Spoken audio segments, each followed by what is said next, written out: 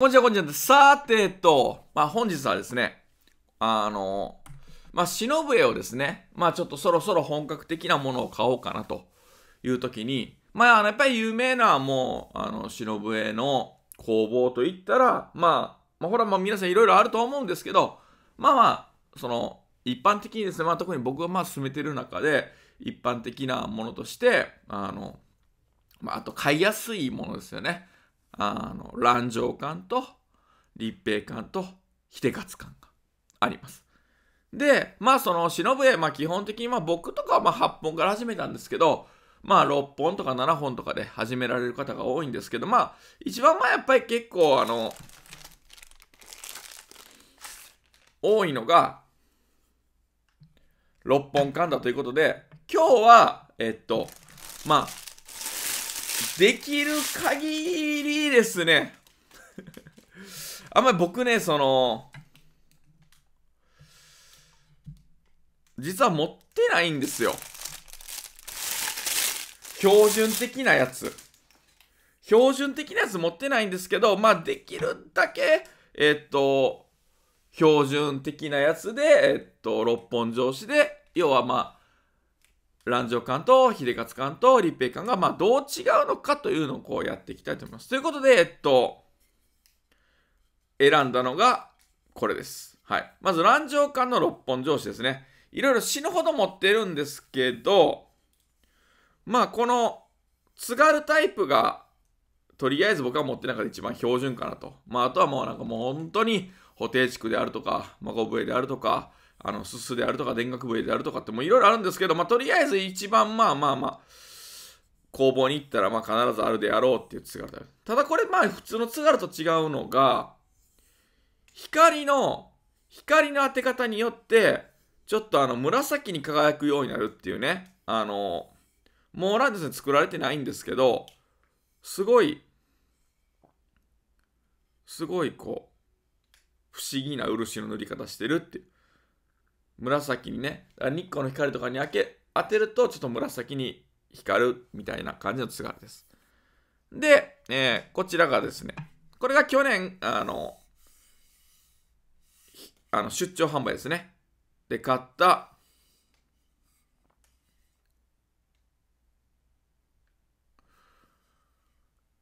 秀勝さんの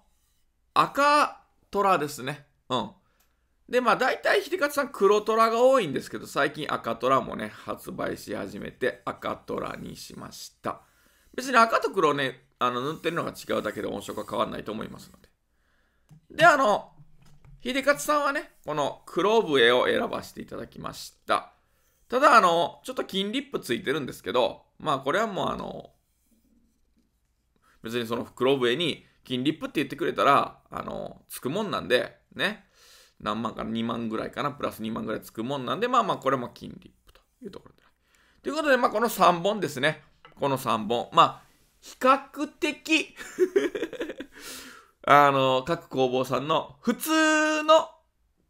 あの、まあ、蓄財でね、まあ、あの、ちょっと注文したら、あの、いや、これちょっとまあ今すすがないんだよとか、いや、ちょっと制作にだいぶ時間かかるねとかじゃなくて、まあ結構普通の、まあその出張販売とか、そういうのね、実際工房とか行ったら、まああるかなと、あるかなぐらいのね、うん。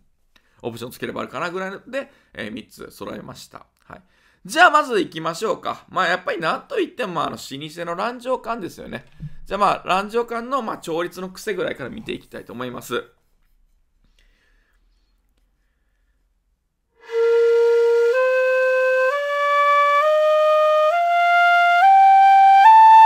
と決めてますので、えー、っと、じゃあ、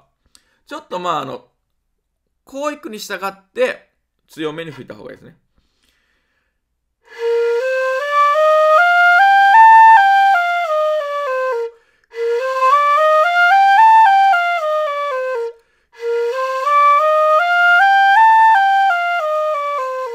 ぐらいのね、感じでね。まあ、ある程度、あの、しっかり、ちょっとやや太めなので、しっかりね、あの、最初注文するときに、やっぱりね、太めの方が息がよく、はい、いります。はい。で、細めだったらあんまり息はいらないんですけど、その、その分、あの、まあ音がこう裏返ったりね、ここのファーの、ファーっていうかこの、読んで。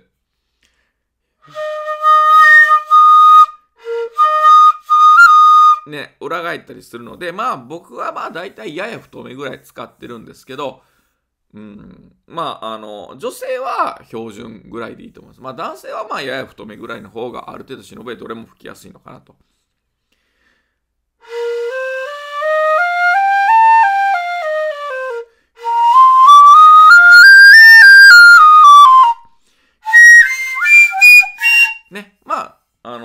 から大寒まで全部出ますと。まあ実際ね、ちょっとまあ、忍笛の曲というのを、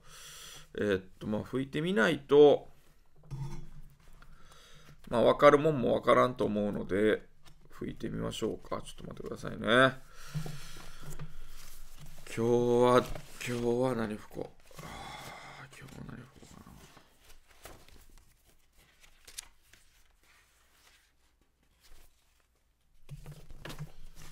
これ謎の時間ですよね。この謎の謎の謎の楽譜探したいんですね。最初から用意しときなさいよってね、まあ、いつもも思うんですけど最初から用意してる時もあります、はい、しかももうこうこうねこうやって漁ってるのにもかかわらずですね。よいしょ。じゃあどうしよう。僕の曲でいいですか？キリン法でいいですか？著作権も関係ないし 自分の曲なんでね。はい、じゃあ、キリン方でね。まあ、軽くね、吹いてみましょう、ね。はい。じゃあ、まず、もう、あの、今日はまあ音色をそれぞれするレベルっていうところで、普段は、この、これ。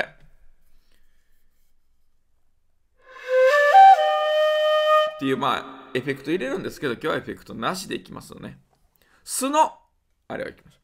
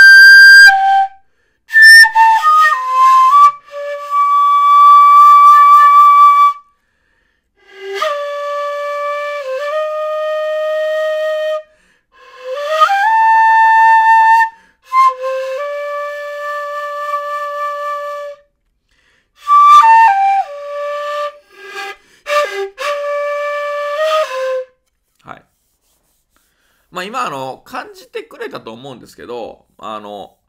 乱情感っていうのはですねあのまあ細めとか細めでっていうのをこう頼まないとあのまあこれはね全然あの結構僕いかつい系が好きなんでいかつい系なんですけどまあマコブイとかね全般そうなんですけどまあかなりその息を息を結構入れて音程を取るのが多いので、息を入れるっていうのは、その、って強く吹き込むんではなくて、前も言ったんですけど、あの、喉を開ける。要は、手を温める。はーの音で、はーの音で、喉をしっかり開いて、はーって言うじゃないですか。声出すときに。あの、口だけで、あーって出すんじゃなくて、はーって、こんにちはーって、こんにちはーっていう感じで、こんにちはって感じ。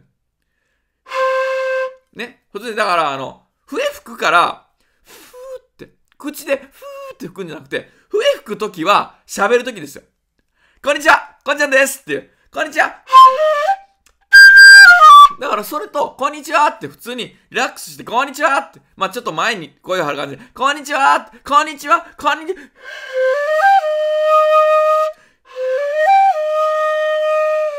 ね。っていうぐらいの感じで結構まあ圧をかけるっていうか、こう前に音を飛ばす感じで、こうグッと、グッと音を入れると、まあ響きも増すと。うん。で、やっぱその、乱情さんで、乱情感でよく言われるところが、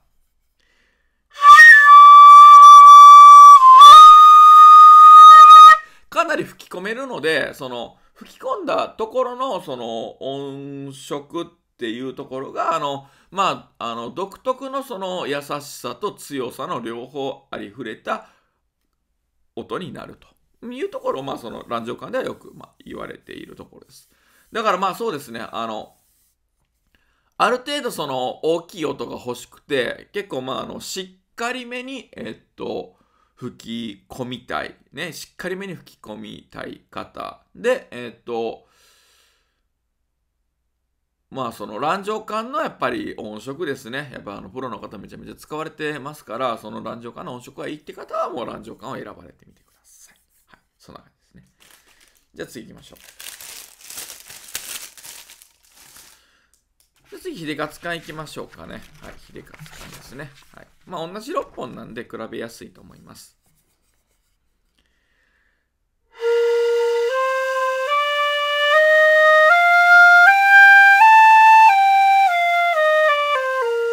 まあ、これもまあ、しっかり吹き込むタイプですけど、あの、ランチョ缶よりは多少あんまり力いらないですね。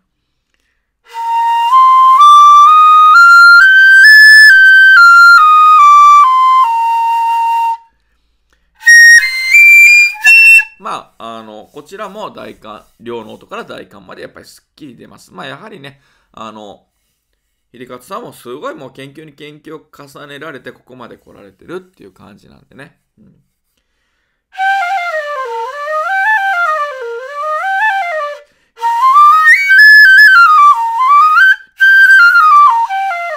で、まあ、最近のその、秀勝館のあの傾向として、あの、こ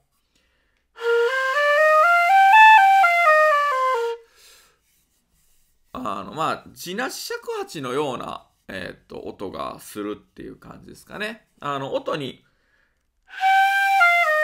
もうちょっと吹いてみましょうか。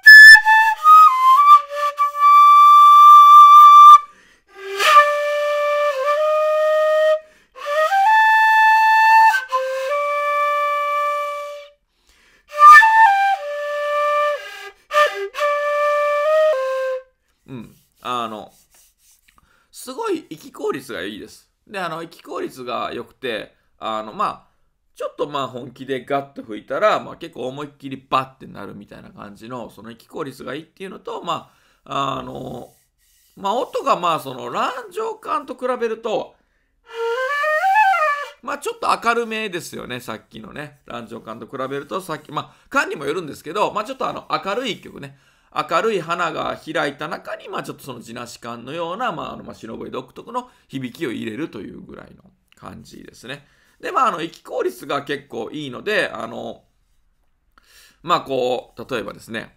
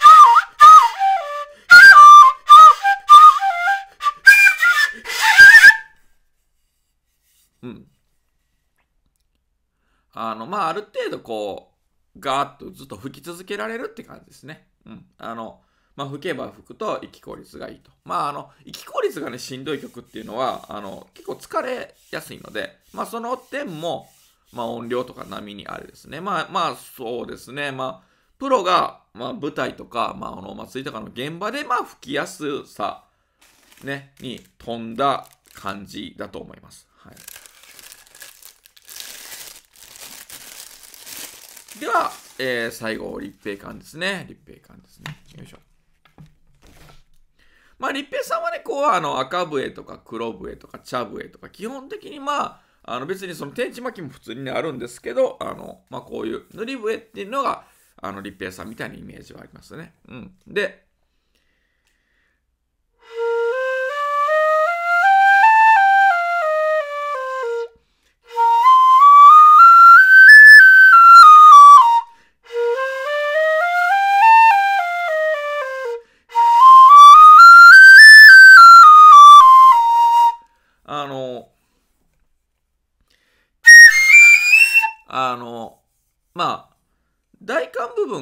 まあ、めちゃめちゃ鳴りやすいっていうのと、あと、まあ、標準的な音が、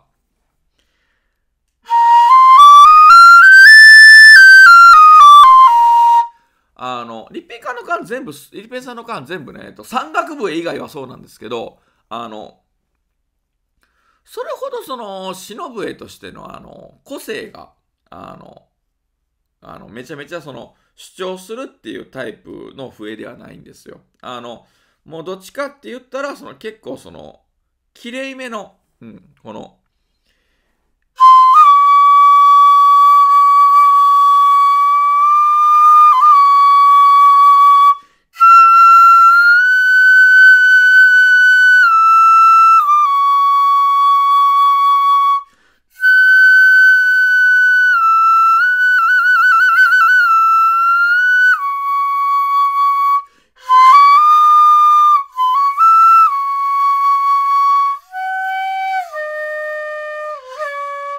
みたいな感じの、あの、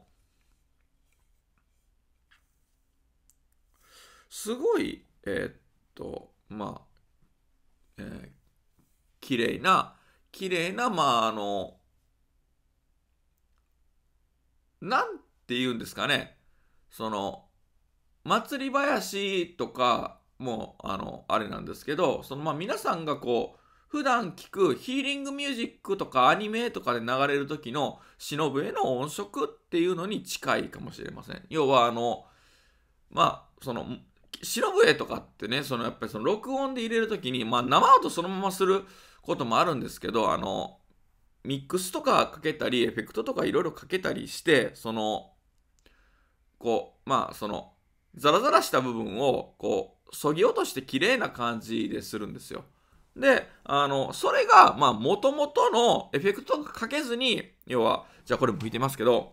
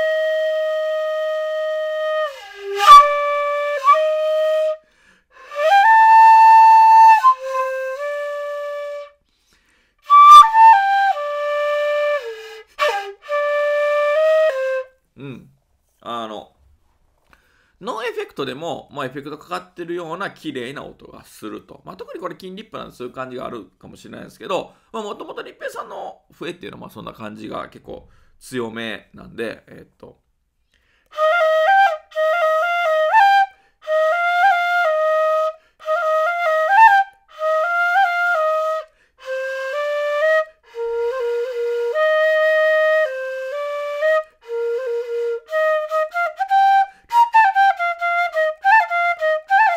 たいな感じなんで、あの、そうですね、その、やっぱり、まあ、お祭りとかでも当然、あの、使えるんですけど、まあ、あの、音色的には、あの、まあ、太鼓チームでその太鼓と合わせたり、外あとまあアニメソングとか、その J-POP とかっていうその、いろんなその楽器と合わせるときにですね、あの、まあ、忍笛の良さも、あの、保ちつつ、あの、こう、思いっきり個性で、その、俺の笛を聞けみたいな感じでね、あの、めちゃめちゃ、あの、他をこう侵食していくみたいなこともないので、あの、まあ、さらっとして綺麗で、あの、いうところですね。だからまあ音色が本当に全然違う。だからまああの、忍笛プラス、その、まあ忍笛プラス、もうよりちょっとまあ綺麗な音を出したいって方、うん、がおすすめかな。だからまあこれで、まあ逆に言うとミックスとかもかけようもんなら、もう本当にこう、すごい透き通るようなね、透明感のある音になります。はい。ということでね、今日はもうこの3本でね、まあ、徹底的にですね、まあ、あの、できるだけ、こう、初めての方が、えっと、これ欲しいですって言って、まあ、買いやすいところを、まあ、えっと、想定して、説明してみました。どうでしたでしょうか？もしね、皆さんがね、新しい笛を買うときとか、まあ、初心者の方がですね、最初の1本とかね、まあ、要は、まあ、玉木でとりあえず練習とかして、あの、まあ、同時とか玉木とかでそういうの練習して、ちょっと最初笛が欲しいなと思った時の、まあ、何かの一つの選択肢になればと思います。ありがとうございました。またね。